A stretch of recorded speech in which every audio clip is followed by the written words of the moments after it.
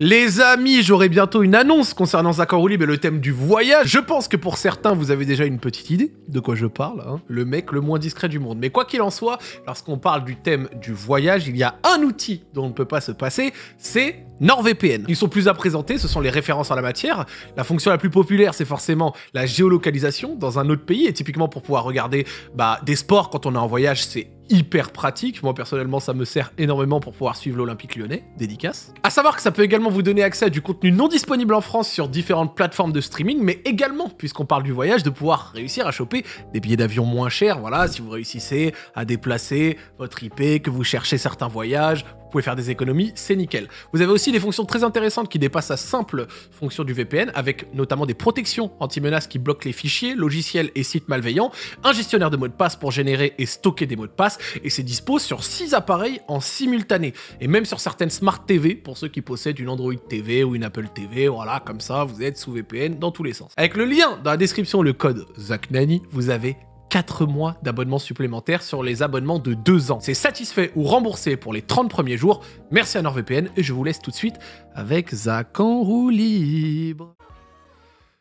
Bonjour tout le monde, j'espère que vous allez bien. On se retrouve aujourd'hui pour Zach en roue libre, 25e épisode de la saison. Je suis ravi de vous retrouver. Est-ce que vous connaissez le principe de prendre en otage? Alors la prise d'otage, c'est quelque chose qui est illégal et pas bien, mais ça permet également de faire bouger certaines personnes. Pourquoi est-ce que je dis ça? Parce que vous avez notifié à juste titre que les photos qui sont utilisées pour les illustrations de Zach en sont issues d'un ancien shooting, vieux d'il y a un an et demi, deux ans, quand j'avais un peu plus de poids. Et ça fait quelques semaines que je dis aux personnes qui sont concernées, faut organiser un nouveau shooting pour de nouvelles photos. Il faut organiser un shooting pour de nouvelles photos. Et que ça traîne, ça traîne, ça se fait pas. Prise d'otage pour Zach en roue libre 2. Dans deux semaines maximum, ce sera les nouvelles photos. Voilà la prise d'otage. Comme ça, c'est dit et c'est factuel et on se casse pas la tête. Donc, content de vous accueillir pour ce nouvel épisode. Après euh, l'épisode de la semaine dernière avec Gaël Clichy qui était superbe. Vos retours étaient géniaux. C'est toujours un plaisir de pouvoir parler euh, forcément de sport, mais pas que. Zach en libre, c'est aussi une variété de, de créateurs de contenu et de gens qui font des choses. D'ici la fin de la saison, on va avoir même des petits chants inédits, vous allez voir. Mais aujourd'hui, on retourne à ce qu'on fait de mieux, à ce qu'on adore, les bons créateurs de contenu sur Internet et les gens qui font même des transitions sur d'autres domaines. Mais on va en discuter, car aujourd'hui, je suis avec Théodore. Théodore, comment vas-tu? Ça va l'équipe, ça va frérot Tranquille La forme? Parfait frérot. Dès que t'as entendu prise d'otage, t'as fait les gros yeux, hein Comment ça prise d'otage frérot? Ils ont fermé la clé et tout, ça fait peur frère. non ça va, je suis content d'être là frérot, c'est cool. T'as la forme, tout roule Ouais, carré, carré. tout va Là, bien. tu viens de revenir en plus et tout, t'as sorti Ouais. ta petite vidéo, t'as Ouais, fait tes c'est petits beaucoup. machins. Ces derniers jours là, c'est c'est beaucoup frérot. Mais tout va bien. Tu t'attendais à des retours comme ça? Euh, pff, écoute, moi je lis tout, donc euh, je m'attendais à faire parler en tout cas. Et euh, c'est tant mieux, moi je suis, je suis trop content de ce qu'on fait. Et voilà, j'ai trop hâte de la suite. C'est un mec début. qui lit tout un peu, qui essaye de garder les yeux au maximum sur euh, normal. ce qui se dit. Je pense tu sais, gros, on est, on est comme ça, gros. Moi, je, comme j'ai toujours fait du contenu, j'ai toujours euh, partagé des choses. Bah, l'avis des gens euh, qui me regardent, je, je lis tout, frérot. J'ai tout. Est-ce que t'as déjà regardé un petit peu l'émission? Est-ce que tu sais où est-ce que tu mets les pieds? Je sais exactement, frérot. Je regarde tout. J'ai regardé les clichés, là, avant de m'endormir euh, il y a 2-3 jours. Ah, ça fait plaisir. Ouais, ouais. Quand tu fais les photos, ça la fera, frérot. Bien sûr. En fait, tout dépend de la connexion que j'arrive à avoir avec la personne en face. Avec chaud. toi, je te dis, la connexion, elle va être bien. Euh, au final, parce qu'on a parlé un petit peu des premières réactions et on discutera un peu plus en détail de tout ça, est-ce que t'es content des premières Ah, je suis refait. Ah, bien sûr, bien sûr. Je suis trop content. En termes de. de... Tu c'est, de la musique, donc euh, euh, la vie sera toujours différente selon les gens, tu vois, ça reste subjectif, tu vois. Mais ouais, je suis content. Parce que dans tous les cas, comme je suis fier de, de ce que je fais, je, suis, je, suis assez, euh, je suis assez content de, de, de ce que les gens peuvent euh, dire et tout. Je suis content. Parfait, nickel. Bah écoute, avant de revenir sur les actualités récentes, on va s'intéresser à ta carrière depuis ses débuts, parce qu'il y a Ouais. énormément de choses à dire sur toi. et donc, je vais donc poser la traditionnelle question. Et qui es-tu On y est. D'où viens-tu Et quel a été ton parcours scolaire, s'il te plaît? J'ai même plus besoin de regarder la fiche pour ça. T'es chaud, t'es chaud. Alors, Zach, euh, je suis Théodore. Je suis euh, né à Lille. Euh, J'ai euh, 21 ans. Belle ville, Lille. Ouais, sympa. Je suis pas resté longtemps, hein, mais sympa. Euh, J'ai 21 ans et je suis créateur de contenu, euh, musicien. et mon parcours scolaire, écoute, euh, euh, j'ai un bac littéraire. D'accord, bien. Ouais, bac littéraire. Et après le bac, j'ai fait des études de théâtre. Très Ouais. intéressant. Ça t'était. T'étais quel genre d'élève quand tu étais un peu plus jeune, genre collège, lycée Qu'est-ce qui t'a orienté sur le littéraire? Parce que je crois que c'était à l'époque la filière la moins prise, de très loin d'ailleurs. Ah ouais? Peut-être euh, masculin. Je pense qu'il y avait autant de, de, de, de gens qui prenaient L ou S ou, ou machin, mais je pense que c'était plus féminin, tu vois. Mhm. Et euh, non, moi, à l'école, j'étais. euh, J'étais dans ma tête, tu vois, tu vois, dans mon truc, tu vois. Il y avait quoi, des hauts débats? Ouais, il y avait des hauts débats. Franchement, je travaillais bien, mais euh, j'étais un élève perturbateur. Ok. J'aimais bien faire des blagues. Et voilà. Et c'est pour ça, en fait, j'ai choisi elle parce que moi, les maths et les cours en tant que tel, la- l'apprentissage, ça m'allait pas du tout. Alors que euh, le français, euh, des choses un petit peu plus euh, artistiques, Mhm. c'était pile ce, que- ce qu'il me fallait. Tu étais bon en anglais ou pas? J'étais pas mauvais, ouais. J'étais pas mauvais. Ça Je- Ouais, anglais, espagnol, ça va. Et euh, j'ai perdu un peu, frérot. T'inquiète, j'allais pas, il y avait pas de piège. On va faire l'interview en anglais. J'allais pas te poser. dans- T'inquiète, j'allais pas te dire allez parle-nous, tu vois, en anglais. Non, t'inquiète. Ouais, ça, ça va, j'aimais bien. Mais c'était surtout ouais, pour, euh, pour le français et pour le théâtre, du coup, parce que j'ai pris option théâtre au lycée. Et, euh, et voilà, franchement, euh, moi, je savais que j'allais pas faire de, de grandes études. Je savais que je voulais être dans le domaine artistique. Donc, j'ai fait l'école de théâtre, l'école Périmonie, s'appelle à Paris. J'ai pas fait tout le, Tout le cursus. tout le cursus, parce que la vie a fait que, que j'ai pu euh, Faire autre chose. voilà, faire autre chose et m'émanciper de tout ça. Mais voilà, c'est ça mon parcours scolaire. C'était comment le théâtre Euh, Est-ce que c'était une pratique que t'aimais bien en particulier? Alors je suppose suffisamment pour passer de lycée option à une école derrière. Ouais. Mais tu as appris quoi Euh, Moi j'ai eu des petits cours de théâtre. Ouais. Et franchement c'était très agréable au cours de français d'avoir une prof qui essayait de nous, Moi, je montrer à ça, nous montrer à ça, nous ouvrir à cette Ah pratique, ouais. tu vois. Moi, je trouve, en fait, j'ai toujours trouvé génial le l'art en tant que tel, et puis au théâtre, euh, au-delà de- d'apprendre des pièces et euh, et d'avoir un, un truc très littéraire, il y a aussi, tu vois, tout tout ce que ça va t'apporter à, à- à l'humain, tu vois. Il Mhm. y a un truc euh, de confiance en soi, De prise de parole en public. Exactement, de- tu vois. Qui, qui, moi, m'avait trop plu au, au lycée, tu vois, quand c'était assez général. Et après, moi, j'ai décidé de, de spécialiser dans ça parce que je savais que je voulais faire un métier artistique et, et j'aimais jouer, tu vois, des rôles. C'était un peu un, un rêve de, de jouer dans des films, tout ça. Naturellement ça t'a aidé un petit peu pour la suite sur Ah, la création carrément, de contenu, sur les sketchs, les ça. différents trucs. C'est ça. Et comme j'ai commencé en fait à faire des sketchs avant de faire du théâtre, je me suis dit, ok, euh, euh, je pense euh, qu'il y a un truc à faire dans ça, tu vois. Donc, euh, donc voilà, j'ai suivi cette route-là presque naturellement. ouais. Est-ce que dans le théâtre, il y a des gens qui jouent mieux certaines émotions ou pas? Toi, c'était peut-être sur quoi? C'était sur. euh, genre, j'ai l'impression qu'il y en a, ils, ont, ils vont être plus forts sur les scènes tristes, certains Ouais. sur les scènes énervées, certains sur les. Tu vois, toi, Ouais, t'avais une spécialité, un truc que tu préférais faire?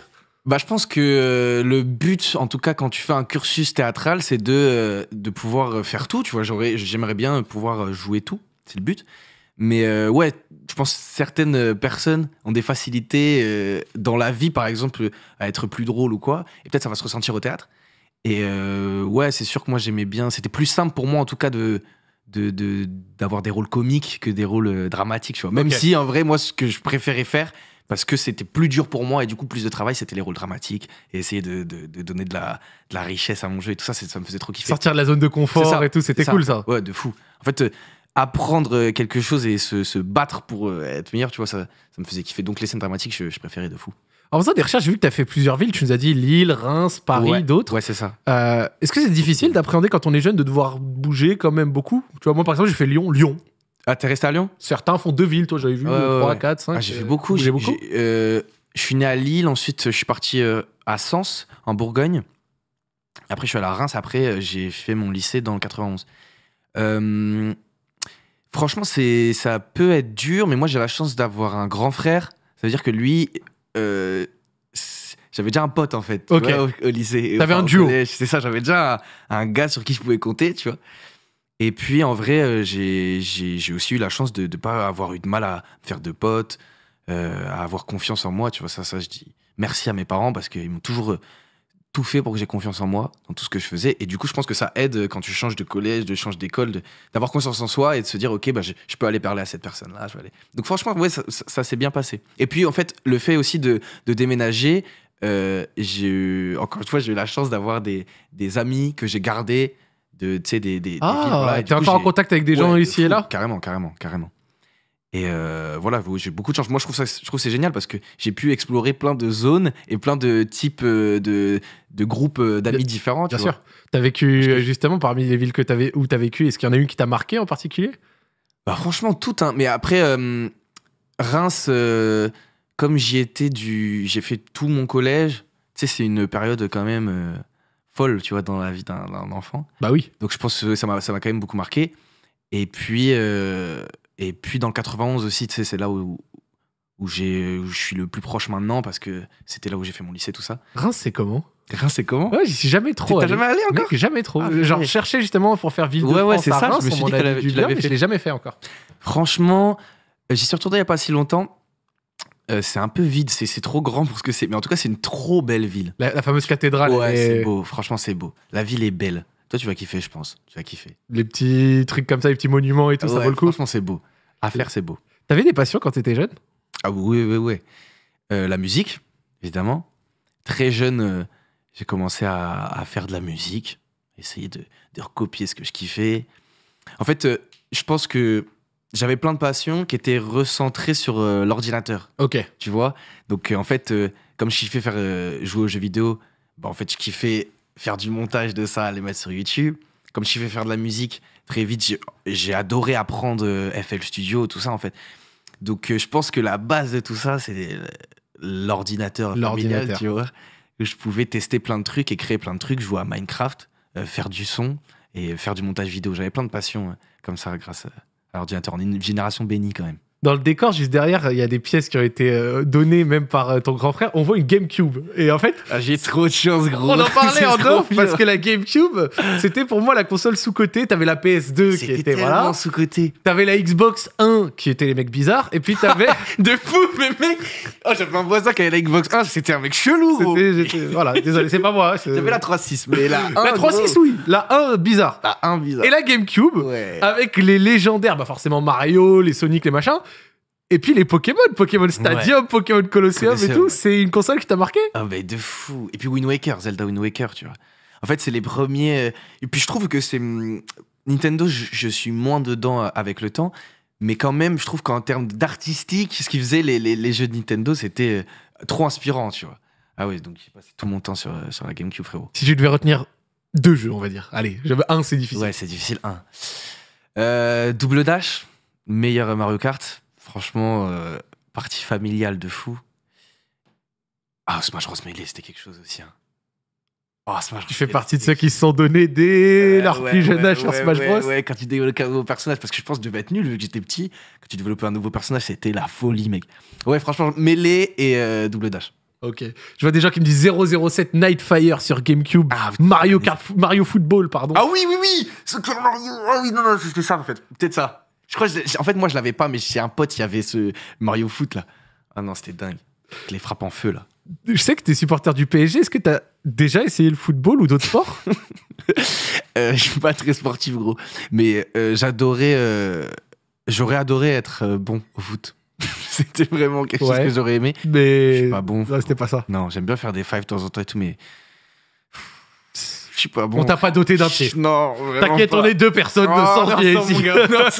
Mais des gens, ils m'ont dit, tu vas t'inscrire au truc d'Amine. Oui, oui, si, si, j'ai mis la, Je- la candidature. ouais. ouais, on est dedans là. non, je suis trop nul.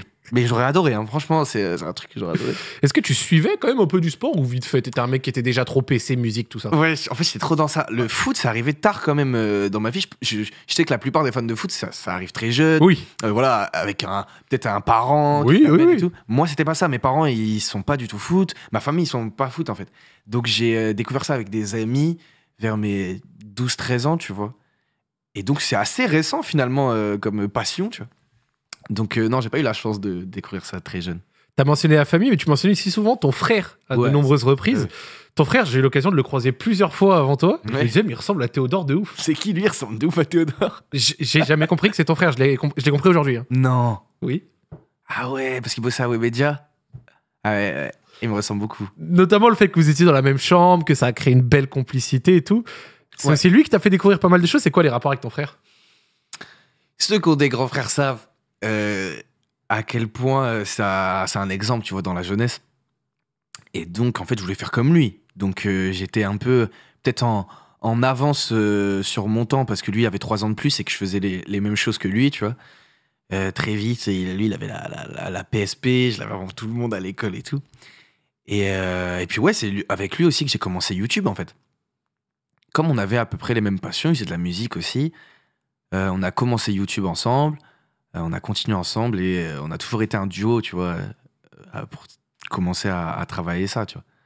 J'ai trop de chance. Euh, Justement, tu l'as dit, je crois que c'est avec lui que tu as démarré la vidéo. On voit notamment dans ta vidéo là que tu as sorti ce week-end des passages de vous très jeunes avec une caméra, des images, on te voit bambin et tout ouais, machin. c'est lui qui t'a mis sur euh, la voie de la création de contenu?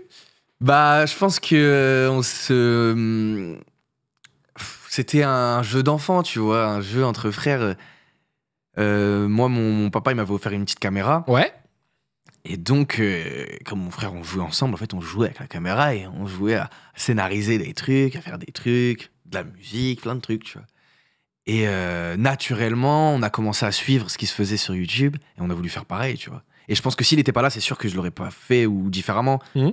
Mais euh, que lui le fasse, ça me donnait euh, confiance de tout ça, c'est marrant. Ça, c'est Ça, c'est des belles images. jeune, quoi. C'est fou, je dois avoir eu 6 ans, mec. C'est fou. Vous êtes adorable. hein. ah, vraiment. ouais. Chevelure de fou, hein, magnifique. Hein. dire, des fous, frérot. Ce week-end, il fait se rasseoir. Et t'as vu, on on n'avait pas la média, on filmait Black Ops comme ça. Ah oui Sur la On a tous filmé un moment notre écran comme ça à On l'époque. posait sur les, la, la, la- les chaises et les, les jaquettes de trucs. Et, et donc, salut tout le monde, on se retrouve, frère. Et donc, en fait, on a commencé à faire du mimétisme de, de ce que je voyais sur YouTube. Tu regardais quoi? Tu regardais Diablo X9, les machins comme ça? X9, c'était mon GOAT, GOAT ultime. Et euh, ouais, dès le début, en fait, quand il a commencé à, à un peu exploser, c'était MW2. Moi, direct, j'ai j'ai voulu jouer à Call of Mhm. et faire comme Diablo X9, tu vois. Ouais. Toute la Advent Family, c'était Exactement. avec Rexy. tout La ça. A7X et tout, ouais. Ouais. Et puis après, euh, après euh, il y avait Gotha, il y avait Monsieur le V12, tout ça. Donc ouais, j'étais dans ce YouTube-là. J'étais dans ce YouTube-là. Et je commençais à faire du coup c'est les mêmes vidéos qu'eux. J'essayais, parce que j'avais un, un niveau euh, très moyen. C'est pas grave. Pas grave. Des fois, carrément, je prenais les gameplays de mon frère et je les Et commentais. tu commentais Je par-dessus. disais, ouais, donc là, j'ai mis. Gay- Le menteur. Ouais, menteur de ouf. Menteur de ouf. Mais c'est pas grave. Non, ça va, on me pardonne. Ce qui plus, 10 c'est ans. 10 ans, quoi. Ouais, c'est ça. J'étais bien jeune. Et euh, bon, ça va parce qu'au début, je montrais pas ma tête, tu vois. Mm. Donc, euh, c'était un jeu d'enfant, ça restait un jeu, tu vois. Et sur euh, ces premiers contenus que vous avez fait, euh, ça consistait un peu à quoi? Parce que j'ai vu ta chaîne, elle est active depuis juillet 2013, donc euh, voilà. Encore, j'en avais une avant. T'en avais une avant? Deux même.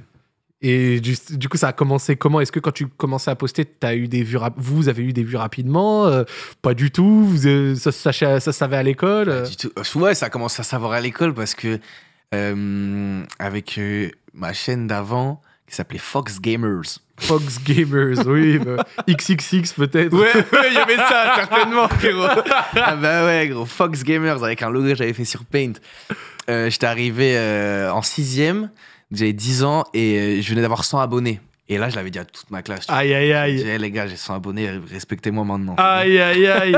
Le flex du collège. 100 abonnés, frérot. 100 abonnés à l'époque, attention. C'est solide. hein Ah, c'est solide, frérot. Je disais 100 personnes. Ça veut dire que tu divises le collège par 4 et ils me suivent tous. non, c'était la folie. Mais ça marchait pas du tout. Enfin, c'était euh, c'était pas important. J'étais j'étais juste content de faire des trucs et qu'il y ait 100 personnes qui regardent mes trucs, c'était exceptionnel pour moi. C'est- quoi le premier contenu qui a percé un peu ou qui a a commencé à, à, tu vois Ça a marché un peu. Euh, c'était plus tard. C'est euh, quand je faisais plus de jeux vidéo.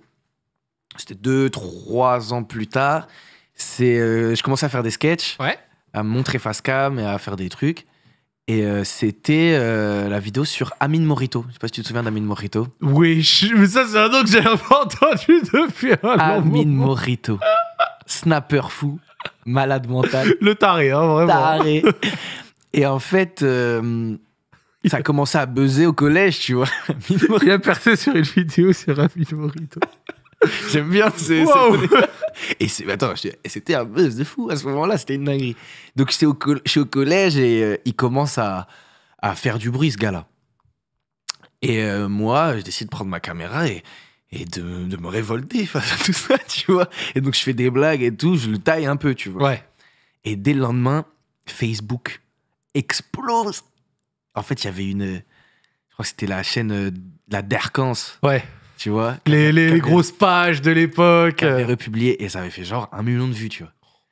Et là, c'était la folie. Du jour au lendemain, euh, hmm, je devais avoir genre 10 000 abonnés quand même. Genre, je continuais à faire des vidéos et tout. Le collège commençait à le savoir, ça commençait presque à devenir même une vanne Mhm. chez les gens parce que je grandissais. hein. J'étais euh, en troisième. J'avais 13 ans. Et ça sortait des vidéos de sixième, ça faisait ah Ça commençait à me tailler, tu vois. Ça commençait à me tailler.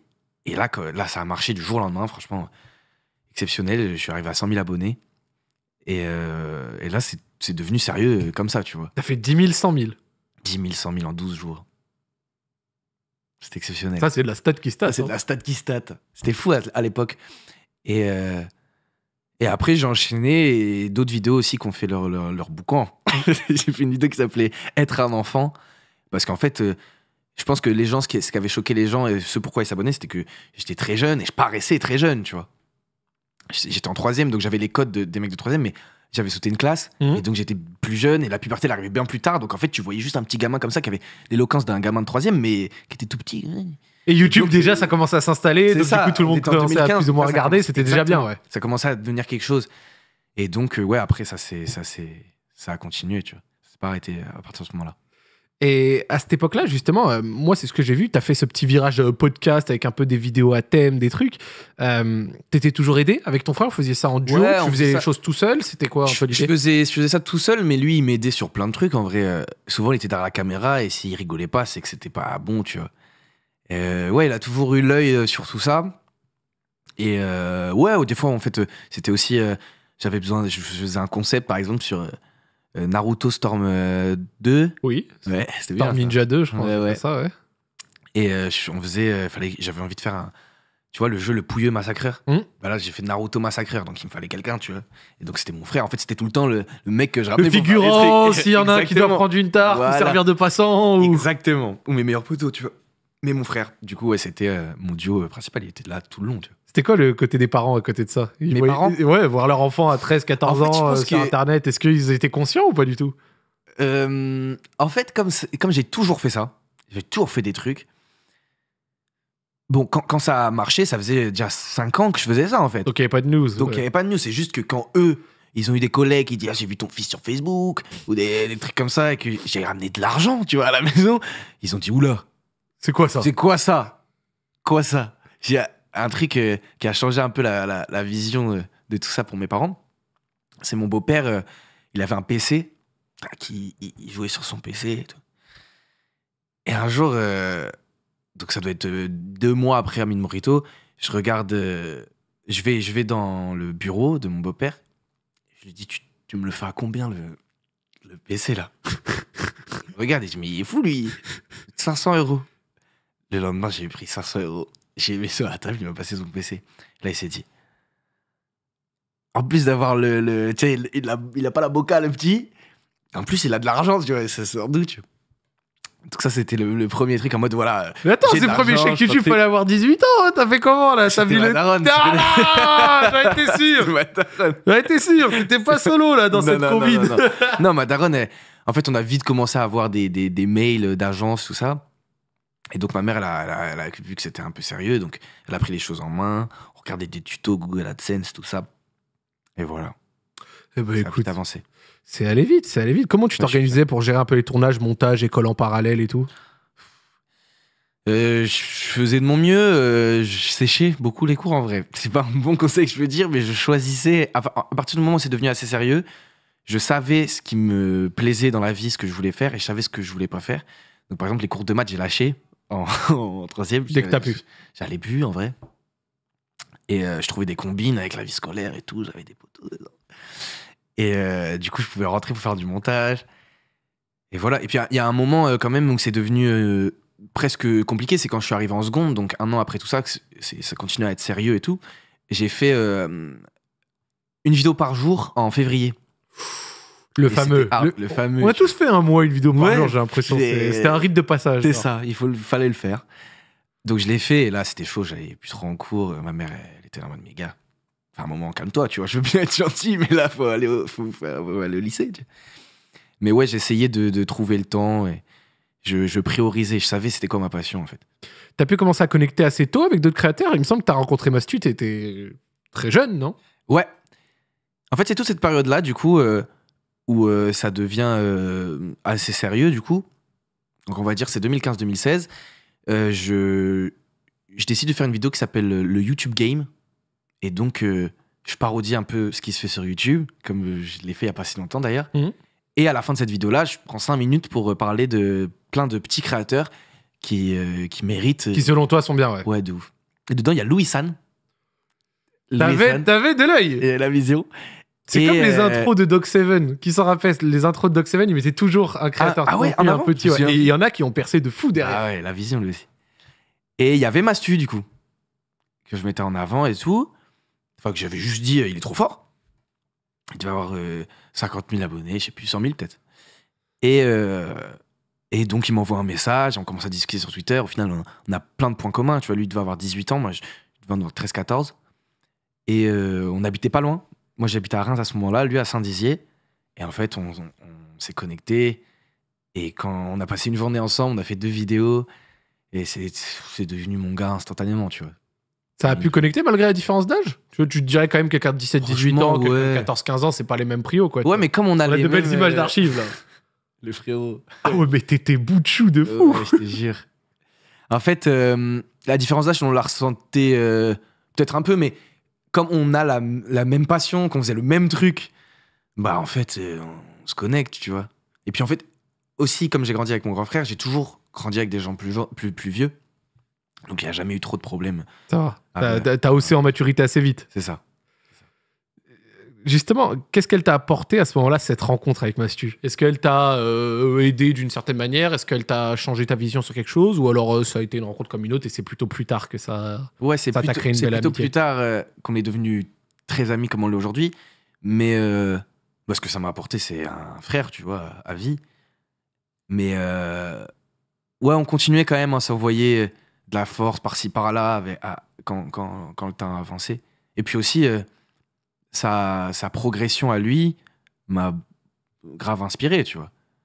Ça m'a aussi donné la force de, de continuer, en fait. Parce qu'il y a eu des moments de, de- Ça fait 10 ans que je fais ça, tu vois. Il y a, bien, il y a eu des moments de, de doute, de réflexion, tout ça.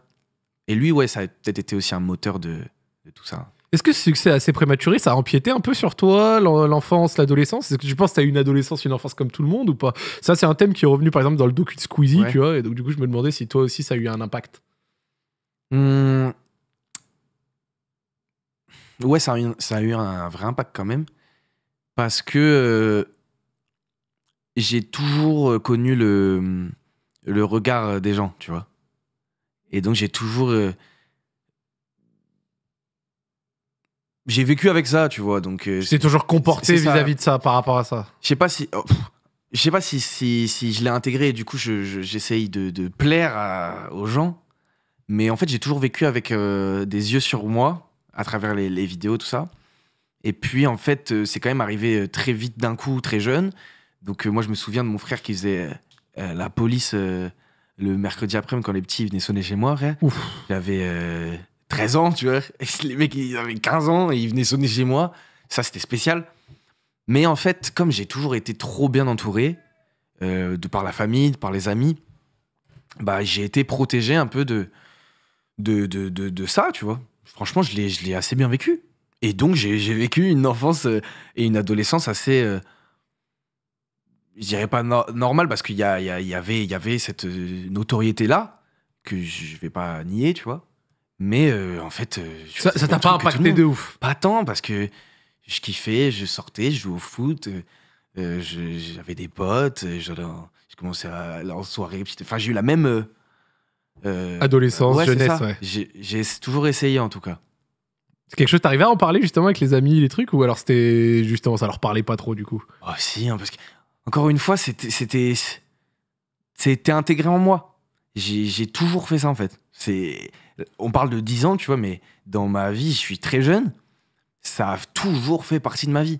Donc, c'est pas comme si. euh, oh, euh, Qu'est-ce qu'on fait Il y a un. Enfin, c'était là, tu vois.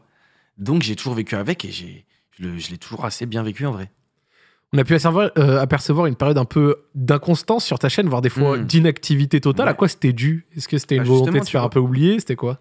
Justement, je pense que c'est aussi la volonté de vivre euh, comme tout le monde, l'adolescence. Parce que c'est un moment, euh, euh, je, vers mes 15-16 ans, c'est là où je déménage dans le 91. euh, j'ai une autre. je rentre dans, ma, dans mon adolescence, quoi, tu vois. Et euh, j'ai d'autres envies. J'ai pas envie d'être. euh, tu sais, parce que quand j'arrive dans ce nouveau lycée-là, les gens me connaissent, tu vois. Et là, pour la première fois, je ressens. euh, euh, j'ai pas envie, en fait. J'ai pas envie. J'ai envie qu'on me prenne normal. Je suis normal, tu vois. Je suis comme vous, les gars. Et donc, je pense que naturellement, je m'éloigne un peu de ça. Et puis, en fait, aussi, à ce moment-là, je découvre la musique en tant que telle. Et c'est sur ça que je passe plus de temps à ce moment-là, quand je suis au lycée. Euh, je suis plus sur FL Studio que sur Vegas, tu vois. Ok. Donc, en fait. euh, C'est intéressant ça, ce passage que tu faisais plus l'un que l'autre parce que j'avais pas l'impression que ça se ressentait de ouf. Tu sortais pas des choses. Non, je sortais rien en fait. Je sortais rien du tout. Je faisais juste mes trucs de mon côté.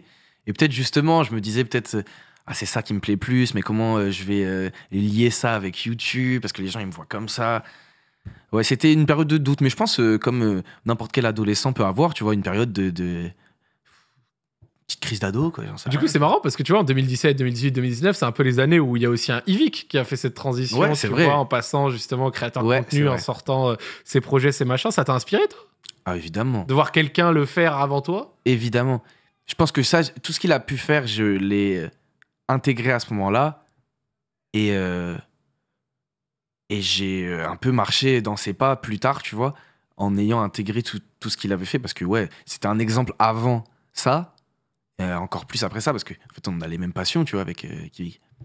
Donc, euh, je, il a ouvert la porte euh, pour dire, ok, c'est possible, en fait. Ok. Donc, il est inspirant de fou, tu vois. C'est les premières personnes qui prennent les balles et les personnes derrière qui suivent. fou. Comme les Gros premières dos OP comme à l'époque. Exactement. Il marche comme ça avec son, ses gros dorsaux comme ça. Il prend toutes les balles. non, c'est un bon. Ouais. Vous avez déjà parlé Vous avez déjà rencontré? Ouais, on se connaît pas mal. ouais, ouais. On se connaît pas mal. Euh, après le GP, en fait, on s'est, on s'est, on s'est rapproché avec le GP. Et ouais, on passe euh, un peu de temps ensemble. Il te conseille de temps en temps, vous De discutez fou. Il a, bah là, sur l'album, euh, il est venu une, une fois au studio. Il connaît le truc. Il, il a été, euh, ça a été un acteur de tout ça quand même, franchement. En août 2021 est lancé Lot, un projet notamment mené par euh, Mastu et Joyka. Comment est-ce que tu as eu connaissance du projet et comment est-ce qu'on te l'a proposé? Et bah tout ça c'est relié avec la musique parce que moi je fais du son, voilà, bref. Et donc je parle avec Mastu.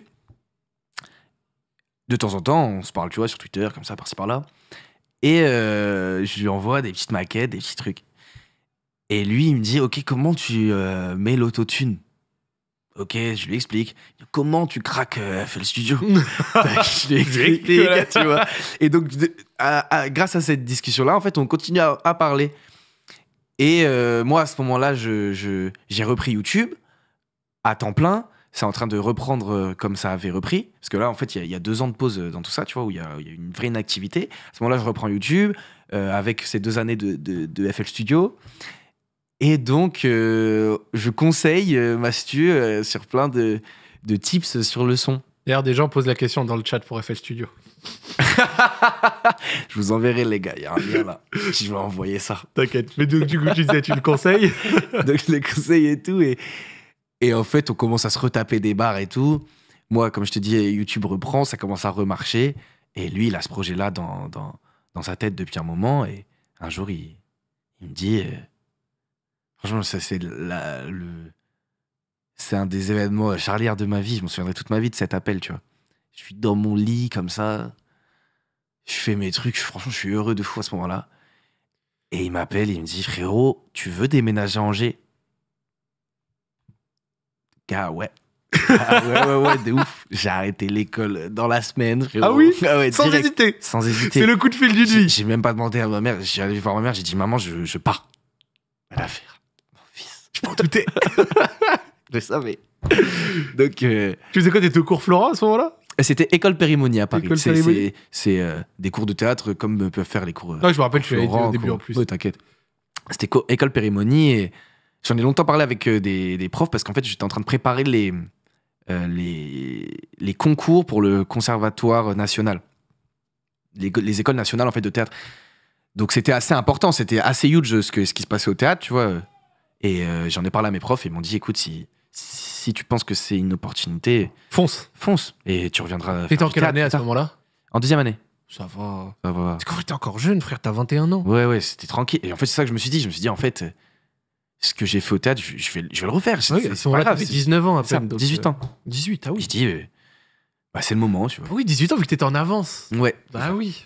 Et donc, euh, j'ai débarqué à Angers direct. Comment ça s'est passé l'arrivée à Angers à 18 ans, comme ça? Franchement, c'est. Jeune qui a traversé les villes, qui vient là pour créer du contenu juste après la reprise YouTube. C'est une, une période en or. hein. Franchement, c'est une période dorée parce que. D'ailleurs, Amas, tu es dans le chat. Oh frérot On sent. Je voulais le dire. On sent. Euh, écoute, le frérot, bah, euh, il me dit viens à Angers, ça prend deux mois de transition et moi sur ces deux mois, comme je sais que je vais arrêter l'école, je sais que je vais aller à Angers, je sais pas, il y a comme un truc qui se débloque en moi Ok, et là je fais tout ce que j'avais envie de faire sur YouTube en fait. ok. Et c'est le moment où ça explose un peu euh, comme ça a jamais explosé pour moi alors que je connais ça depuis longtemps. Là, ça devient euh, une, à une autre échelle, tu vois, c'est là que je sors euh, Payday pour ceux qui se rappellent Ouais. vidéo du rappeur gay, tout ça. Donc en fait, toutes les inspirations dont on parlait tout à l'heure, c'est là où, où je les, je les, je les Tu les, mets aussi, tu vois. à, tu les mets à profit, tu envoies C'est ça, c'est ça. Et euh, ouais, c'était, je faisais des personnages rappeurs, donc Payday le rappeur gay, je faisais Young Voyou, enfin bref, plein de trucs euh, qui m'ont euh, beaucoup nourri. Et donc ça marche beaucoup, ça marche beaucoup et tout. Je suis, je suis- je suis le mec le plus heureux du monde. Et donc j'arrive à Angers avec, euh, avec quand même des, des- Je sais que ça, ça, ça, ça, va, ça va le faire pour moi, tu vois. Donc je suis confiant. Et puis en plus, direct, j'arrive. euh, je m'installe dans un petit appartement à deux pas du lot. Et on est tous les jours là-bas. Et en fait, euh, je me rends compte que c'est. C'est le rêve d'une vie, tu vois. C'est, ça fait dix ans que je suis dans ça. C'est pile ça que je voulais, tu vois. On est entre créateurs. On se kiffe. Fait des, c'est le, notre Bonne journée, ambiance, la ville est cool. La ville est géniale. Moi, je suis là. Angers, 18 toi ans, Tu veux- fais de la dédicace tu dédicaces Mais bien sûr. Je débarque là-bas, je, je rencontre Raska et toute sa team de gars et tout. Et en fait, je kiffe ma vie, tu vois. Là, là je suis enfin. il, voilà, il y a j'ai Hugo dit- dans mon oreille. 18 18 aïe, aïe, aïe, il vient d'Angers lui aussi, il est content. let's go. Et en fait, ouais, je vis aussi euh, une vie étudiante que j'ai pas pu vivre aussi, tu vois, un truc où, j'ai- j'étais, très heureux à ce moment-là. Très, c'était trop bien. Le début d'Angers, c'était période en or. Ça se sentait, hein? Ouais, c'était cool. Et puis ouais, ça, je pense que ça se sent aussi sur le contenu, tu vois. Après, ce a, ce a, ce a- ça a déboulé sur, euh, sur euh, plein de contenus de fou, et puis ça a tout a, tout a pris un autre euh, level aussi, tu vois. C'était un collectif avec Mastu, Joyka, Actuan, euh, Linka et, et Raska. Tu les Ouais. connaissais tous? Est-ce que tu as Non. connecté avec eux d'une certaine J'ai manière? connecté avec eux à l'arrivée. Moi, quand je suis arrivé, j'ai l'impression que tu avais quand même une relation un peu spéciale avec Raska. Quand, quand j'étais passé, j'ai vu vos deux studios étaient l'un à côté de l'autre. dès le Bah début, ouais, en fait, euh, bah oui, je le rencontre en arrivant à Angers. Et euh, ouais, en fait, c'est- devenu un de mes meilleurs gars très vite, tu vois. On a une relation spéciale parce qu'en fait, on a. euh, J'ai traîné, j'ai trop traîné avec lui carrément, tu vois. On traînait trop ensemble en fait. Donc ouais, ouais, c'était, c'est mon gars de fou, c'est mon gars de fou. Et est-ce que le moyen de prod, le fait d'avoir des gens avec de l'expérience autour de toi et tout, ça t'a aidé sur tes propres Ah, contenus évidemment. Tu sais, genre toi, tu voyais les choses d'une manière, et eux, ils t'ont dit, bah tiens, rajoute plutôt une caméra, tiens, là, on va plutôt En faire de cette c'est- manière. Est-ce que ça t'a aguerri au métier, genre, Ah, de créateur Complètement, complètement. Et tous, tu vois. Que ce soit Linka, que ce soit Joyka, Mastu, euh, Raska, enfin tout le monde en fait. Parce que chacun avait aussi son, son, sa plus-value euh, sur, en- dans ce métier, tu vois. Et euh, ouais, Mastu, ça a été mon grand frère, tu vois, qui m'a qui m'a tout expliqué sur ce monde-là, tu vois. Parce que lui était déjà eh bien planté, tu vois. Joyka aussi euh, m'a fait me rendre compte de plein de trucs. Ils t'ont expliqué quoi, grandi, par tu exemple? Est-ce que tu as des exemples c'est- qu'ils ont pu te donner? Ouais, c'est par exemple de, euh, de la gestion simplement de- d'entreprise, tu vois. Euh, Aïe, aïe, aïe, la leur- fameuse boîte la fameuse boîte, tu vois. On a quitté le statut auto-entrepreneur. C'est ça, on a quitté le statut, fallait assumer, tu vois. Donc ouais, en fait, c'était des, des conseils de, de, de, de mecs qui, qui avaient des, des entreprises euh, très viables, tu vois. Donc c'était pour apprendre, et puis c'est devenu des amis, donc magnifique. Raska aussi, euh, lui, ça a été... euh, lui, en fait, je trouve- il a trop de goût, Ok. tu vois. Et moi... J'aime me- bien cette notion de il a trop de goût. il a trop de goût en fait, c'est un vrai artiste. Et moi, il m'a, il m'a développé mon goût sur plein de trucs, tu vois. C'est un gars, c'est, c'est le, souci, le souci du détail, tu vois. Et comme en plus toute cette période, bon, je reviens toujours sur ça, mais c'est, obligé. Toute cette période, euh, c'était aussi euh, euh, la musique euh, qui, enfin, à ce moment-là, c'était la musique euh, qui venait dans ma tête. Enfin, je me suis dit à ce moment-là, il faut vraiment que je me concentre sur la musique. Ouais. Bah, Raska, ça a aussi été un moteur de tout ça, tu vois. Ouais, vu lui- en parle beaucoup et il en parle qu'il a du goût. C'était notre, dit. exactement, c'était, c'était vraiment notre, notre point de, de rencontre sur ça, tu vois. Et donc oui, Raska euh, a commencé à me clipper pour des vidéos, sauf que quand on faisait des sons pour des vidéos, bah, je prenais une heure de plus pour faire un petit son euh, rapide pour moi, tu vois, plus sérieux et tout. Donc ouais, période euh, vaste en développement, tu vois. Et puis je, je, je- suis trop content de ce qu'on a pu produire en termes de contenu à ce moment-là, tu vois. C'était génial quand même. On Trop s'est- trop amusé, tu vois. Incroyable. Amusé. Incroyable, incroyable. Non, ça se voit, ça se voit, tu vois, que ces inspirations et tout, ils ont fait kiffer. Je, je, je, je vous connais, le chat. J'ai une expérience Zach en roue libre. Cette saison, vous allez pas me la faire. Quand j'ai un invité qui peut avoir un petit tic de langage, vous allez. C'est quoi mon tic? Tu dis beaucoup, tu vois.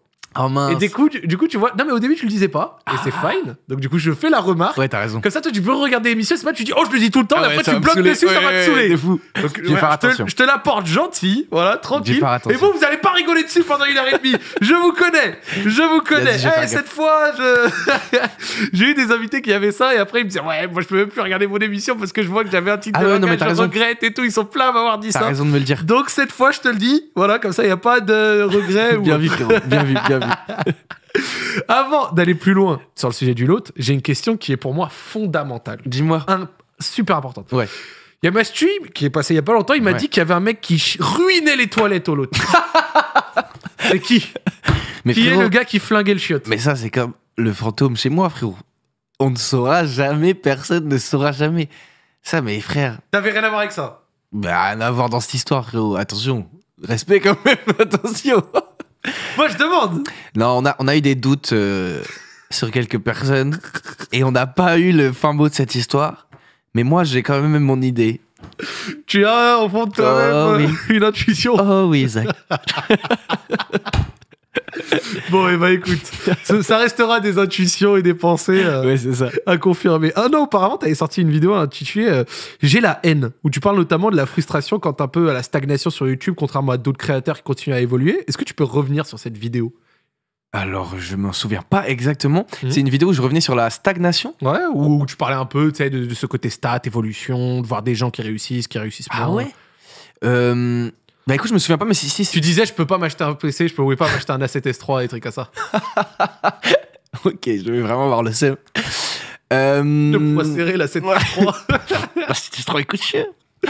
Euh, Je sais pas, je pense que ça devait être une période où, euh, où je créais de fou et peut-être j'avais l'impression de me sentir limité Mhm. par rapport à ce que je pouvais faire, tu vois. Parce que euh, très vite, euh, tout est devenu.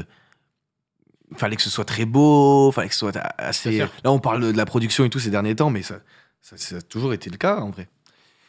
Et euh, peut-être que je me sentais un peu seul dans mon monde. euh, et euh, tout ça, je pense que ça, ça- ce que ça voulait dire, c'était la volonté de- de- Ouais. d'aller loin. Tu vois, je La pense que j'avais juste la dalle. Tu créateur vois. en mode ouais, je suis un peu bridé et tout. ouais. Je pense que j'avais la dalle. Je me souviens plus trop de tout ça. T'as passé le million d'abonnés en septembre 2021, quelques semaines après l'annonce du projet. C'était un objectif, le fameux million. Bah euh, oui, quand même. la petit, le petit trophée. YouTube et tout. Moi, je me souviens. euh, Bah, c'était Diablo X9 qui a vu un million, qui avait fait la vidéo. euh, Ok, oui. Tous. Ouais. Et bah, à ce moment-là, je me souviens, c'était. C'est resté gravé dans ma tête comme un objectif quand même. D'ailleurs, recevaient tous un gros bouton. C'est toujours le gros bouton maintenant Je crois que c'est un truc un Ah, peu c'est un plus truc un peu maintenant. plus. euh, c'est fin quand même. C'est tout fin. À l'époque, ils recevaient un gros Ouais, bouton là qui était bien stylé. Pas à l'aise. C'est-à-dire, là, t'avais un trophée. Ouais, je voulais celui-là. Arrivé trop tard. Euh, ouais, quand même, fierté énorme. C'est c'est un chiffre, mais j'avais l'impression de, là, de rentrer dans la cour des grands, tu vois, un truc. euh, C'est pas comme si c'était arrivé comme ça, tu vois. Donc là, c'était. c'était- Je l'ai savouré, celui-là. Vraiment. T'as- Quand t'as habité à Angers, t'as connu plusieurs apparts là-bas, mais t'as eu un petit souci avec l'un d'entre eux. Qu'est-ce qui s'est passé euh, souci. Exactement. J'aurais donné un autre adjectif. Un petit souci, un sacré souci. quand même. Un gros problème. Écoute, euh, je suis jamais revenu dessus. Parce que, euh, franchement, euh, c'était quelque chose à vivre. Alors, je suis arrivé, pour ceux qui savent pas, dans un appartement à Angers, mon deuxième appartement, avec ma coloc, meilleure copine. Et ça s'est très mal passé, euh, sous plein de, de, de points. Des points assez sérieux quand même. Et euh, tout ça, c'est arrivé jusqu'à dans l'entièreté de mon entourage. Tu vois, on parle de paranormal, on parle de machin, Mhm. et c'est tout le temps, vas-y. Sauf que là, c'était évident pour tout le monde. Ça veut dire que ce n'était même plus un truc de, oh, là, c'était sincère. Personne juste- n'hésitait, genre. il n'y avait pas d'hésitation. Il y avait un truc. Il n'y avait pas d'hésitation. Donc ouais, euh, j'ai quitté cet appartement euh, il y, a, il y a un moment maintenant, ça va faire un an quand même. Et c'était difficile parce qu'en fait, euh, Qu'est-ce qui s'y passait? En détail, ça allait des lumières qui s'allumaient, aux, claques, aux portes qui claquent, aux verres qui se brisent, aux coups sur euh, les, les, les- les jambes, aux bleus, aux cris. C'était une dinguerie. Ouais. C'est. Frère, c'est. un- T'es resté combien de temps là-dedans, là? Je suis resté longtemps parce qu'en fait, quand je sors la vidéo, c'est le point euh, culminant, tu vois, de tout ce qui se passe. C'était un vrai euh, ras-le-bol de ma part. Je pense que j'ai pas fait les bonnes démarches du tout. Que j'ai pas écouté les conseils de, de- de ma mère et de de toute. euh, En fait, j'avais trop de de croyances dans mes entourages Ok. qui faisait que je savais pas quelle solution amener. Là, je te parle comme si Mm. là, là, là, c'était un vrai problème. hein. On, on peut spéculer et tout, mais là, je- ça a été un vrai problème dans ma vie, je te le dis sincèrement. Donc, euh, j'ai essayé de chercher des solutions. J'ai pas pris la bonne, je pense. Et donc, on est arrivé à un moment où euh, moi, j'ai fait une vidéo, j'ai fait venir des gens, euh, des chasseurs de fantômes, entre grosses guillemets. Et avec le recul, j'espère que ils m'ont douillé. J'espère. J'espère que tout ça n'était qu'une mise en scène. T'espères qu'ils t'ont. Parce qu'en fait, dans la vidéo, bon là, elle est plus disponible, mais dans la vidéo, en fait, euh, ils sont arrivés avec leurs appareils et euh, il y a plein de trucs qui sont passés dans, dans, dans, dans leurs appareils. On a entendu des voix, on a senti des choses, senti des choses, tu vois. Parce que moi, je parle pas de ce qu'on voyait et tout, moi, je parle plus de- du ressenti qui, Ouais, avait, ouais. Qui était global. Il n'y avait pas que moi, c'est pas fou, Il y vois. avait des jeans dans ton appart. Franchement, gros, aucun doute. Je vais te le dire, aucun jeans, doute. Là, frère. ça va me prendre pour un fou, mais aucun doute. Aucun doute. Donc, euh, en fait, à partir du moment où la, la vidéo sort, moi, je ne veux plus être dans mon appartement. Bah ouais, logique. Logique. Sauf que euh, je sais que je vais pas tarder à revenir à Paris parce que plein de une situation familiale et tout, j'avais envie de revenir à Paris. Mais je voulais pas changer d'appart à Angers. Je l'aimais beaucoup cet appartement. Il se passait, enfin, au-delà de, de, de la Au-delà du fait que c'était invivable, ça se passait bien. parce que justement, en fait, c'est ça qui est dans les histoires, souvent, c'est ça. Quand il y a un extrême, il y a l'autre. En fait, c'était extrêmement pesant des fois, et des fois, c'était extrêmement. euh, euh, pas rassurant, mais extrêmement. Enfin, c'était juste génial. Mhm. Les moments qu'on passait dans cet appartement, on faisait beaucoup de soirées, beaucoup de fêtes, tu vois. C'était un, un endroit de bonheur au-delà de ça. Ok. Quand je me retrouvais tout seul, c'était l'enfer. Et quand il y avait des gens et tout, il y avait pas ces trucs bizarres ou- Si, si, si, bien sûr que si, C'est pour si, ça que si. c'était tous d'accord. Ah ouais, ils étaient tous d'accord, tous d'accord. On a tous euh, une anecdote sur cet appartement, tu vois. Tous les gens qui l'ont fréquenté ont une anecdote sur l'appartement. Mais euh, ouais, donc j'ai essayé de quitter cet appartement, sauf que euh, je voulais pas prendre un appartement à Angers pour trois mois, alors que je savais que j'allais à Paris. Donc en fait, je venais à Angers, je dormais vite fait, c'était horrible, je repartais, j'essayais de rester le plus possible à Paris, donc j'avais pas de pied à terre à Angers. j'étais Ouais, t'étais dans une sorte d'entre-deux chelou, ouais, genre insupportable. C'était horrible. C'était horrible. Et euh, d'ailleurs, j'ai pas. Là, c'est une petite excuse, je l'ai jamais dit en fait. En fait, j'ai essayé de plus en parler. Parce que ça devenait trop un sujet Mm. et que ça me, pre- ça me, par- ça m'en parlait trop. La vidéo, elle avait fait du buzz de Ouais, la vidéo avec beaucoup parlé, ça me prenait pour un mytho. C'était horrible. Bref, franchement, c'était horrible à vivre. Et euh, le grand JD allait venir. Moi, j'ai annulé. Je voulais plus qu'on en parle. Je voulais plus en parler. Bref, je quitte l'appartement. C'est une super anecdote que je te raconte. Attention. Je quitte l'appartement. euh, je, je fais venir des déménageurs parce que j'ai plus du tout envie d'y aller. Je Mhm. fais venir des déménageurs, ils déménagent. tac. Je me rends à Angers pour faire l'état des lieux. L'état des lieux, c'est voilà, tu dis, tu vas rendre les clés à, à la propriétaire, terminé. Je vais à l'état des lieux. Je fais le tour des pièces. Est-ce que les déménageurs n'ont pas oublié quelque chose et tout. tac, tac, tac. J'arrive dans le dressing. Et je vois derrière le radiateur un petit truc qui pend euh, noir, comme ça, un petit papier noir. Je fais Ah mince, ils ont oublié un, ils ont oublié un poster. Alors je le tire. Et euh, c'est un, une peinture qui était collée derrière mon radiateur parce qu'il y a de la pâte à fixe derrière. C'est une peinture indescriptible. Quand on n'a pas l'image, je te la montrerai. Je suis pas sûr de la voir. C'est pour ça que j'aurais bien voulu vous la montrer à la régie, mais je l'ai pas. Je suis pas sûr de la voir. Bref, Mhm. c'est un- une peinture d'un un animal, Ah, une dinguerie, hein. en blanc comme ça, qui crache du, des flammes à travers son nez.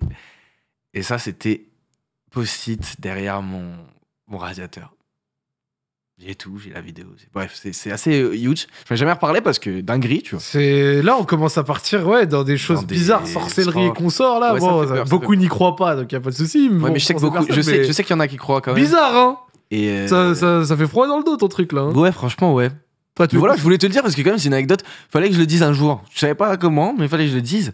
Je vais te montrer euh, tout à l'heure. C'est une dinguerie. Oh là là, quelle horreur. Tu vas pas kiffer toi, je pense. Non, non, je. Non, non, je vais pas kiffer. Mais je voulais quand même revenir sur le sujet, donc au Bah, moins. fallait, fallait. Comme ça, t'en as parlé, il y a, y a pas de souci, y a pas de souci.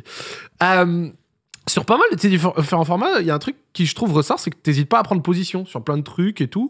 Euh, on- a vu des vidéos même un petit peu parodiques, tu vois, ce, rappeur qui, ce youtubeur qui, euh, des lyrics liés des fois à des situations, enfin des choses plus sociales, Ouïghours, Palestine, autres. C'est important pour toi de- de- d'essayer de, porter ta voix comme ça? Hum, Au-delà d'être important, je pense que je le vois pas comme un devoir. Je le vois. euh, C'est naturel, je pense. Quand il y a des choses qui révoltent, c'est mieux de, de le dire. Et, et, euh, et- et, euh, j'ai la chance d'avoir une, une communauté qui peut m'écouter, une voix qui porte. Je pense que c'est important de, de dire les choses qui nous touchent, tu vois, de parler des choses qui nous touchent Bien sûr. j'ai toujours essayé quand même d'avoir du fond dans ce que je disais, tu vois. C'est pour ça que dans des sketchs, il y avait euh, quand même la volonté de dire quelque chose à travers des blagues, tu vois. C'est intéressant. Oui, Je, je trouve ça intéressant à bien faire. sûr. Il y a plein d'humoristes qui le font de manière hyper. Ouais, c'est ça, c'est ça. Donc j'essaye euh, j'essaye de donner euh, la, ma parole à des, des choses qui me touchent. Et sur cette vidéo, ce rappeur qui en particulier, on connaît un peu ce que ça peut engendrer. T'avais reçu des messages un peu salés après avoir parodié certains ou pas Alors, du tout? on avait, il y avait une, une anecdote comme quoi euh, impliqué 140, bon, je le cite, avait euh, détesté. Bon bref, j'avais eu des, des échos. Au Mhm. final, pas du tout. On a réglé ça en privé. Il m'a dit pas du tout. Et pas du tout. Non, franchement, les, les, les, les gens l'ont bien pris. Hein. Euh, j'ai pas eu C'est de, de l'humour, quoi. de. Ouais, c'est ça. J'ai pas eu de vrais, vrais gens qui ont mal pris. Ou en tout cas, on me l'a jamais dit. Ça va. Et au final, tu tires quel bilan de cette période de l'autre? Est-ce que ça a été la meilleure période de ta vie? Est-ce que tu estimes en avoir bien profité? Ah, C'était comment? Génial, non. Période de vie, euh, comme je t'ai dit en or, c'était. euh, moi, j'avais l'impression de, de, de finir un peu euh, le, le livre de, de ma vie. En fait, tu sais, j'ai- c'est comme si j'étais arrivé à, à mon objectif, enfin. Ouais. Travailler euh, dans des bonnes conditions, avec des gens que je kiffe, que ce soit mon métier, tu vois. Sortir de bons projets, faire des bonnes choses. C'est ça. Donc, euh, franche réussite, quoi. Trop heureux, trop heureux. On parlait de tes déplacements et, et voyages. Je suis également quelqu'un qui voyage pas mal. J'aime beaucoup ça. Et récemment, tu as été dans un pays que j'ai vraiment kiffé, le Japon. Ouais. C'est une, cu- une culture que tu appréciais particulièrement avant de t'y rendre C'était comment? Bah ouais. Est-ce que tu étais un fameux BDJ Banteur de Japon Pas tant non plus. Mais euh, repose en paix, Akira Toriyama, j'ai été très. J'ai été bercé par Dragon Ball, tu vois, on le voit derrière. J'ai été bercé par Dragon Ball. Mon père, il avait les DVD tout Dragon Ball, tout Dragon Ball Z. Est-ce qu'il avait les gros livres oranges là qui, Ouais, qui oui, oui, oui. cumulaient 2-3 tomes Voilà, c'est ça. C'était trop bien. ces éditions-là, mais les grosses éditions, elles étaient stylées. Elles étaient stylées. J'avais un cousin qui avait, pas, pas mon papa. Donc ouais, quand même, euh, de base, la, la culture euh, de manga, pas, pas, pas Japon en tant que tel, mais plus les mangas, j'ai été dedans jeune. Et euh, oui, moi je suis allé au Japon parce que c'était pour l'album, en fait. On s'est retrouvé avec toute l'équipe avec qui je fais l'album. D'accord. L'idée c'était quoi C'était d'avoir des influences, d'être dans un endroit un peu différent L'idée- bah, on n'a pas enregistré là-bas. La créativité. Non, de base, c'était plus euh, euh, partir en vacances avec l'équipe. Tu vois, on est parti, on est parti en, équipe, toute l'équipe qui fait, avec qui je fais de la musique. C'était pour, euh, pour passer euh, un bon moment ensemble avant Mhm. d'attaquer le travail. Le travail, ouais. Donc ça a commencé là-bas, au Japon. D'ailleurs, ils sont ultra en avance euh, musicalement. Mhm. Parce que là-bas, euh, on va dans un bar un peu niche, comme ça, tout petit. Et il y a un. c'est- c'est- Il y a quelqu'un qui mixe. En fait, c'est une personne âgée, japonaise, qui mixe comme ça avec ses CD. Trop dans le truc. Le truc est un peu hype, tu vois. Je dis beaucoup, tu vois. Oh, j'entends. je l'ai fait sans ça. Je beaucoup, tu vois. Ah mince, désolé. Ah, les ça têtes. va. Désolé. Là ça va, là ça va. Ok. Je fais attention. Et donc, il y a ce papy qui mixe. Et quand on arrive, comme un signe, il nous dit Afrobeats, à ma piano. Et là, il lance une playlist à ma piano. et en fait, je suis avec l'équipe avec qui je fais de la Et là musique. tu sors des grosses Je suis en mode, mais c'est pas possible. Parce qu'en fait, là, je suis en train de bosser, bah, fini un projet à ma piano Afrobeat. Et en fait, là, quand on est arrivé à Japon, c'était un peu le début de ce projet-là. et qu'on soit au Japon, à des milliers de kilomètres de la France, à des milliers de kilomètres de l'Afrique du Sud, à des milliers de kilomètres du Nigeria, et que ce gars-là nous, nous rassemble avec une playlist Afrobeat, à ma piano qui me fait découvrir trop de trucs, je me dis, ah non, ils sont trop loin. Donc j'ai adoré, j'ai adoré. C'était comme un signe, tu vois. Ça se voit que la façon dont t'en parles, ça Ah non, mais t'a c'était exceptionnel. C'est une personne âgée, il faut, faut le voir, hein. faut l'imaginer. Tu vois, une personne âgée comme ça, il nous voit à ma, à ma piano. Et il envoie du, du son de fou. Ça, c'était dingue. Moment de fou. Globalement, euh, c'est un pays auquel t'aimerais retourner, dans Ah, lequel t'aimerais retourner? J'ai hâte. J'ai hâte d'y retourner. Si tu pouvais faire un top 3 des pays que t'as visités. Maroc 1, Oh, ça c'est pour me faire plaisir, ça. c'est. c'est- c'est Pas, pas pour toi en vrai, j'ai vraiment adoré. Mais si ça te fait plaisir. Ça me fait plaisir parce que je le suis, donc Ouais, forcément. bah, voilà, bah, trop bien. Ouais, j'ai adoré le Maroc. J'y suis retourné il y a pas longtemps. Ouais. Euh, je mets pas le Bénin dans tout ça parce que c'est- c'est c'est un endroit où je vais souvent. Ok. Donc je mets le Maroc en 1, je mets peut-être le Mexique en 2 Ok. et le Japon en 3. Bénin, c'est lourd ou pas? C'est c'est quoi déjà la capitale du Bénin? C'est Cotonou? Ouais, Ouais. Cotonou. C'est trop bien parce que. euh, Pardon. Pardon. Au-delà de ma, ma famille, c'est une ville euh, fun. Enfin, genre, c'est des bons moments que tu passes là-bas, c'est agréable, c'est c'est paisible. Ouais. C'est. ouais, je trouve ça génial. Et c'est comment au niveau. euh, je, je vais poser la question parce que vraiment, je connais pas. Genre, Ouais. niveau développement, il y a quand même bien. Niveau infrastructure, niveau tout- ville et tout. Je sais qu'il y a des pays en Afrique, des fois, il y a des grosses disparités. Ouais, et du coup, c'est comment le Bénin? C'est un peu comme ça, malheureusement, mais euh, j'y vais à peu près tous les ans, disons. À chaque fois que j'y retourne, c'est euh, ça Le plaisir. avance- euh, c'est le plaisir et puis ça avance à une vitesse euh, phénoménale, Ouais. vraiment phénoménale. Genre là, j'y suis retourné là euh, le mois dernier et là, il y a toute une rue entière qui a changé. C'est un shawarma, tout, c'est une dinguerie. Non, ça va très vite, ça se développe très vite. Parce que euh, moi, je sais pas si t'avais vu passer, j'avais vu passer un TikTok et c'était un truc qui avait fait un peu même le tour euh, sur Twitter euh, francophone de Luanda en Angola, la ville. Mhm. Et genre, euh, les gens ils disaient, mais c'est Miami ou, ou c'est Luanda, tu vois? Ah, Et Les gens ils buguaient et il y avait plein de gens ils se disaient, ouais, mais, Ah, mais en oui, il y a Afrique, plein il y a de plein de villes de comme fou. ça qui se sont développées de fou, je- les gens en sont pas je- conscients. Exactement, je suis allé à Dakar euh, là en janvier, mais c'est ça a rien à envier à enfin, cette ville a rien à envier à plein d'autres villes top, tu vois. C'est exceptionnel Dakar, c'est trop bien. Vive Dakar, vive Dakar. Vive Dakar. Non, je souhaitais quand même en discuter parce que justement, moi, c'est un truc que j'entends pas forcément. C'est quoi ton top 3 toi de pays ou que t'as visité Pays, ville, euh, bah, déjà Tokyo, c'est euh, obligatoire. Euh, Tokyo, je, Tokyo, je pense c'est top 1, ouais. Ouais. Tokyo, j'ai pété ma tête. Ouais. Voilà, parce qu'après, c'est aussi le groupe avec qui j'étais, ce qu'on a fait et tout, ça a fortement influencé. Mais Tokyo, j'ai pété ma tête. Après, en On va y ville, là. franchement, en ville de fou que j'ai kiffé, euh, moi, je te dirais Budapest, en Hongrie. Exceptionnel. La reine de l'Europe de l'Est, euh, c'est une ville que moi, Moi j'ai jamais fait trop l'Europe de l'Est. bah, moi, j'ai fait beaucoup d'Europe, tu vois. Et donc, forcément, euh, Budapest, euh, incroyable. J'ai- vraiment, ça m'a ça m'a marqué. Ouais. Et euh, pour. euh, J'hésiterais entre Lisbonne, j'ai bien aimé, je kiffe le Portugal, les gens ils le savent. allé. Et euh, Prague, Prague, République Ouais, tchèque, c'est le très haut niveau. Mais c'est quoi que tu cherches quand tu voyages? C'est quoi? C'est le paysage, la vie? Moi, c'est le mix de vie sur place avec euh, ensuite euh, une culture. Moi, je suis un mec, j'aime bien, je vais pas faire Ouais, ouais. mais j'aime bien euh, voir des, Carrément. voir des monuments, des belles choses. Tu par exemple, tu vas dans le- au Portugal, en Espagne, tu vois des, des- les rues, elles sont carrelées, tu vois de les mosaïques sur les bâtiments, tu vois des musées, voir des des, choses, jardins. Hmm. C'est con, mais moi, ça me touche. Pour voir des J'aime trop choses. ça, tu ouais, vois. Je suis d'accord avec toi. Et donc, ça, me- ça me marque, tu vois. Et donc, euh, si tu regardes, c'est vrai que je t'ai cité quasi que des villes historiques, tu vois. Prague, Budapest, euh, tout ça, c'est des Mhm. villes où il y a des châteaux, Ouais. des Et vieilles vécu, villes, en fait. des trucs pavés, du vécu, ouais, c'est exactement ça. De l'authenticité. Donc, ouais, je. Ouais, et, et petit mot pour ok. Édimbourg en Écosse. Édimbourg en Écosse, c'est particulièrement lourd. Ah, stylé. Ok. Ok, intéressant. Je me permets de rompre mon jeûne Bien sûr, gentiment. bien sûr. Euh, je me posais la question justement, c'est un truc que toi t'as jamais vraiment pris en étant davantage sur des vidéos scénarisées, bien écrites, que dans le fit and fun traditionnel autour euh, de gros concepts, grosses prod et tout. Pourquoi euh, ce choix? Parce que je pense que j'y trouvais moins euh, de plaisir. J'ai toujours. euh, ce que je préférais faire euh, des. écrire des trucs quand même. Mhm. Ouais, je préférais préparer le truc. J'étais moins fan de, de. de ça, quoi, tu vois. Et puis, j'avais l'impression de le faire pas mal chez les autres, avec grand plaisir, sur les autres chaînes. Mhm. Et euh, je voulais que moi, ma chaîne, euh, ce soit euh, chaque vidéo un peu. euh, un, un kiff personnel. Donc euh, j'ai moins fait, mais je l'ai fait quand même. J'ai fait quand même.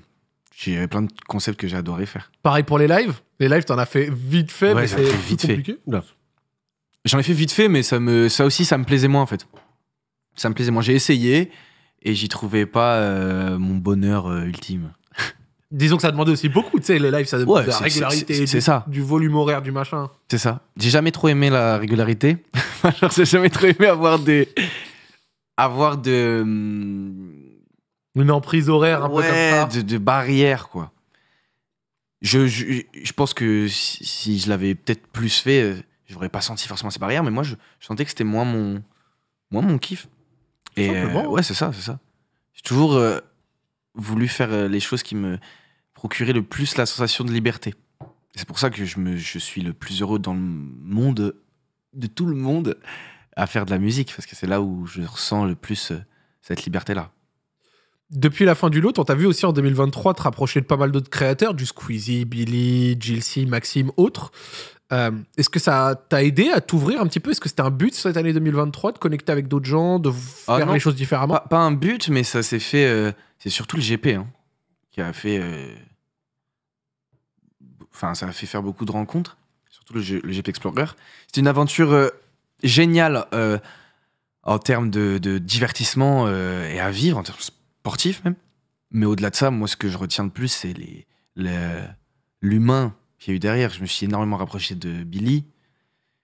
Euh, J'ai trouvé un ami dans tout ça. Ouais. Dilcy, je le connaissais, Maxime aussi, c'est méga.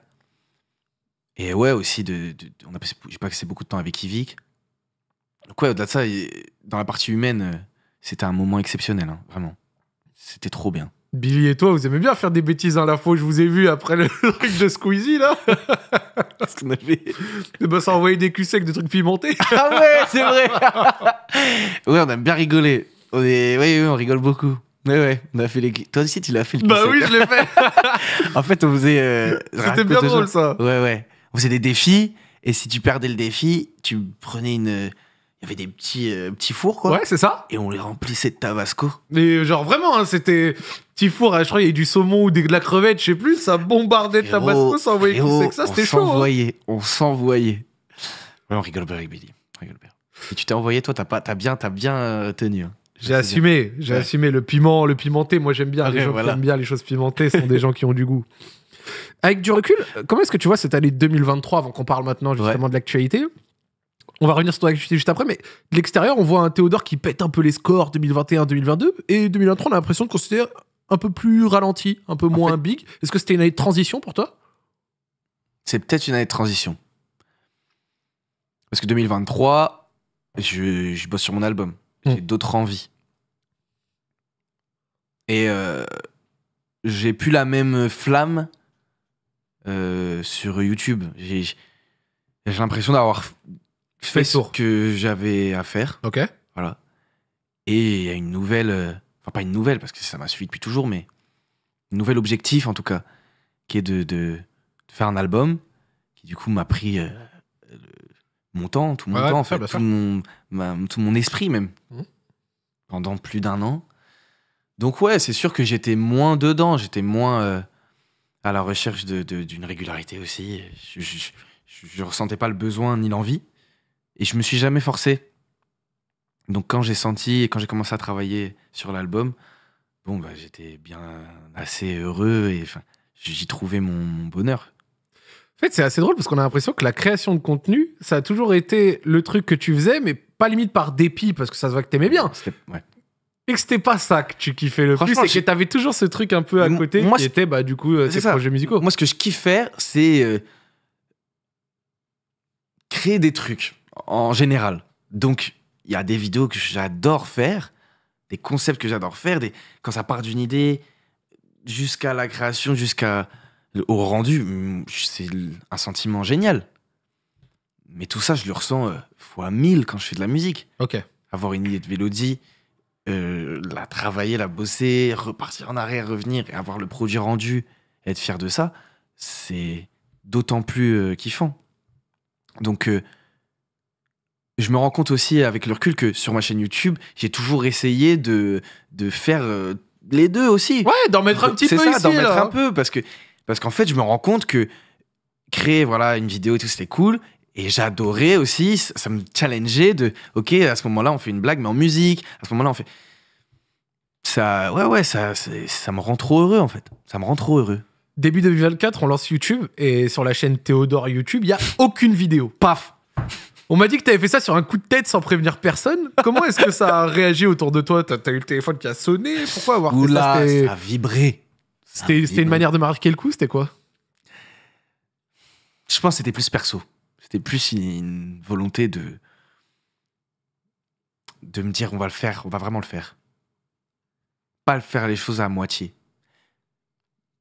En fait, ça s'est fait euh, du sans prévenir personne entre guillemets parce que j'ai j'ai écouté mon album, j'ai réécouté mon album et je me suis dit non c'est chaud, c'est chaud.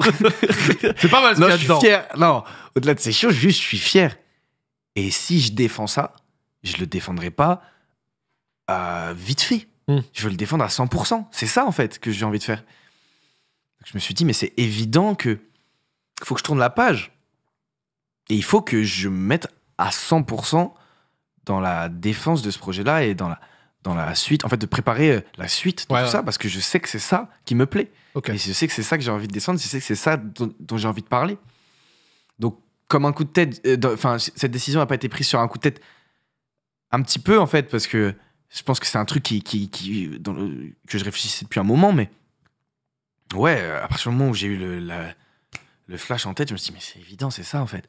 Il est là, l'album, il est. J'en suis trop fier. C'était plus que, par exemple, comme on voit certains artistes supprimer un peu leur truc avant la sortie d'un truc, c'était pas un, un coup de com. C'était pas vraiment une, dame façon de. Après, je- après, en le faisant, je me suis rendu compte que ça pouvait pas faire de mal si ça parlait aussi, parce que je savais que la, la vidéo allait arriver pas longtemps après. Ouais.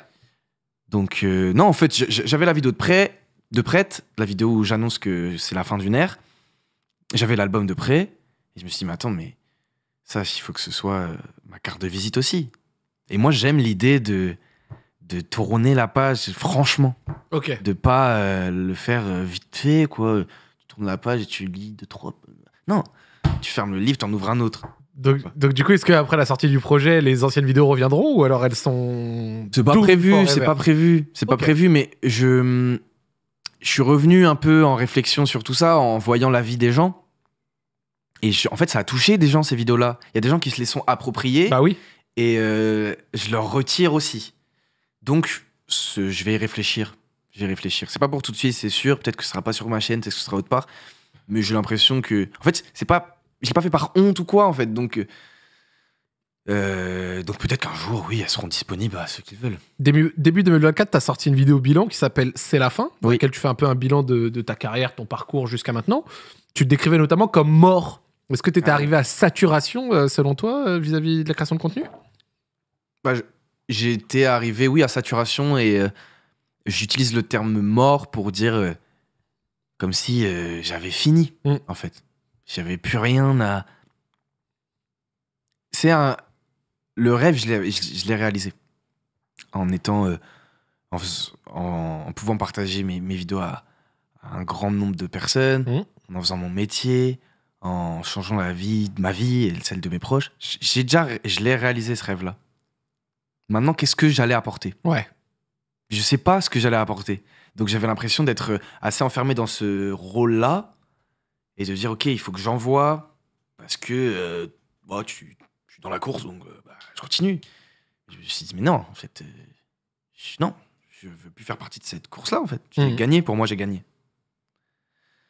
Donc euh, ouais, je me sentais comme euh, emprisonné et hmm, ouais mort c'était c'était Oh, c'est une image, C'est- c'est un c'est une image, mot, bien c'est sûr. une image, bien sûr. c'était une image. Mais il y a aussi. euh, J'avais l'impression que si je continuais à courir dans tout ça, dans cette course-là, bah, que j'allais aussi être rongé euh, par un truc qui, qui était au-dessus de moi et qu'au final, euh, l'enfant qui était au fond de moi, ce qu'il voulait, c'était autre chose à partir de maintenant. Comme Bien si, bah, ça c'est bon, je l'ai fait, je suis content, j'ai rendu fier ma mère, C'est j'ai rendu fier, c'est good. Maintenant, j'ai d'autres rêves.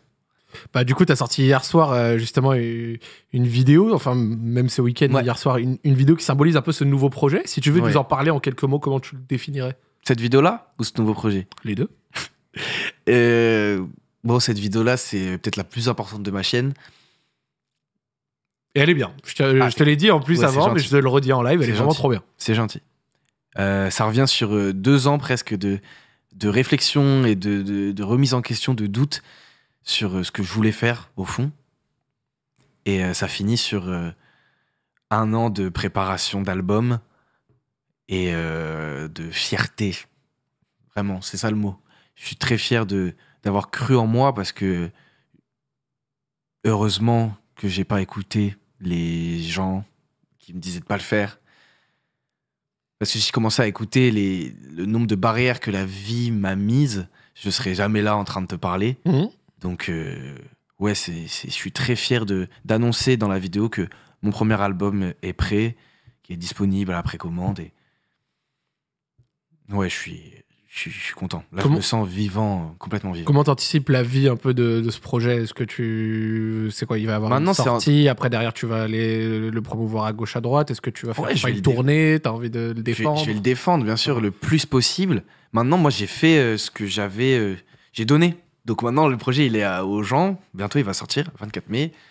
Il sera disponible pour les gens. Les gens se feront leur propre avis. Ça, je peux pas. euh, Je fais pas euh, te dire si, aime. tu vois? Chacun a son avis. C'est ça, chacun a son aimer, avis. Mais j'espère que les gens euh, comprendront euh, mon approche, respecteront ça. Et. euh, bah oui, j'espère qu'ils aimeront au fond, évidemment, parce que moi j'en suis fier. Et, Et t'as cet que tu lisais tout ce que les gens disaient. Bien sûr, mais bien sûr. Et ça, c'est la. Tu sais, quand tu fais quelque chose tu- t'as- et que tu le partages, tu le fais aussi pour, euh, pour partager, quoi. Voilà, Bien sûr. j'ai fait ça. Alors, tu vois, tu peux pas juste faire ça euh, et le garder euh, privé, quoi. Et tu penses quoi du fameux euh, ouais encore un youtubeur qui se met au- à la musique gna gna gna, alors que Bah, toi de ce que tu disais bah t'as l'air d'avoir quand même un parcours un peu différent vis-à-vis de ça. Je comprendrais qu'on me dise ça s'il y avait une, une notion d'opportunisme à tout ça. Comme si je le prenais. euh, comme si je prenais les avantages de ça. Bon, je pense que les gens savent que euh, c'est plus un risque qu'autre chose, cette histoire. Et qu'il n'y a aucune notion d'opportunisme, parce que c'est que la, la passion qui parle. Donc maintenant, j'espère aussi, euh, comme Yvick l'a fait, pouvoir. Juste quand les gens vont se manger ça, se dire ok, peut-être faut arrêter de mettre des étiquettes sur les gens, quoi. Mais bon, je peux pas en leur en vouloir. hein. Les gens ils me connaissent comme ça. Ça va mettre le temps que ça va mettre, mais moi je suis, je suis, je suis assez sûr de mon karaté. C'est vrai qu'au final c'est plus euh, une prise de risque qu'un vrai truc à Ah bah gagner oui. ou un machin. Tu pu rien continuer à... à- faire des vidéos. euh, J'ai rien à gagner à part le, mon sentiment de liberté et mon bonheur. C'est ça que je cherche.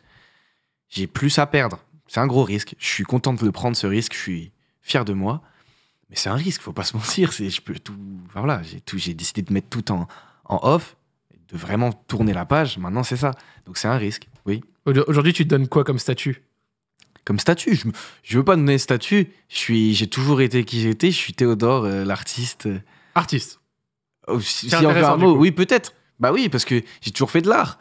J'ai fait de la musique euh, dès mes 8 ans, j'ai fait du théâtre. Euh, je considère que les vidéos sur YouTube, c'est de l'art parce que à partir du moment où tu ajoutes l'effet à tel moment et tu mets la musique à tel moment sur ton montage, évidemment que tu as envie de faire de l'art, tu as envie de faire du beau. L'art, c'est faire du beau, donc j'ai toujours voulu faire du beau.